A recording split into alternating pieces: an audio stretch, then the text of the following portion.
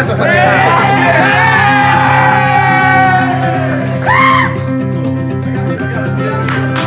Una cosa ragazzi, una cosa. Aspetta, aspetta. Palermo!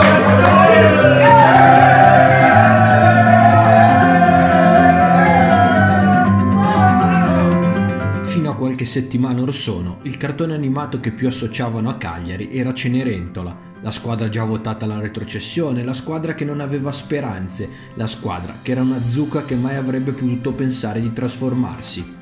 Invece con il lavoro, la determinazione, la società, coach Iacozza e i giocatori hanno trasformato quella zucca in carrozza, una carrozza di quelle moderne, un frecciarossa capace di violare i campi di Forlì e Ravenna, una carrozza capace di rimonte importanti, di primi tempi come quello di Faenza. E non sono cambiati i giocatori, gli anelizzi a parte, sono cambiate le facce, l'atteggiamento, il giocare insieme. La squadra che non si passava la palla, che non difendeva, che giocava per le statistiche, si è trasformata nel gruppo del balletto. Intendiamoci, la strada per la salvezza è ancora lunga, ma ora Cagliari dà fastidio. Ora gli avversari leggono il calendario e non sorridono di fronte al nome della Hertz.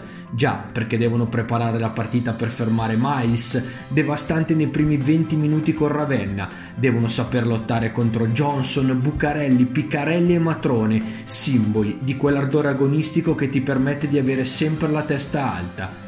Abbiamo dimenticato che quella carrozza ha messo il motore che è il nome di Roberto Rullo, oggetto misterioso nella prima parte di campionato, assoluto trascinatore protagonista nell'ultimo mese, capace delle stesse prodezze mostrate l'anno scorso al piano di sopra con la maglia di Cantù. Alla guida della carrozza c'è l'emblema di questa nuova faccia di Cagliari, Ale Iacozza, assistente dell'ultima ora, head coach per caso, ma che si merita ogni centimetro, ogni punto, ogni passo in avanti fatto dalla sua squadra. Pensate che mercoledì questa zucca si presenterà a Treviso con la storia del basket e con Menetti in panchina. Poco importa, vince o perde questa Cagliari al sapore di squadra che lotta e non molla. Forse hanno iniziato a capirlo anche i tifosi, sperando di poter assistere all'ennesimo incantesimo della stagione, quello che porta la lettera A.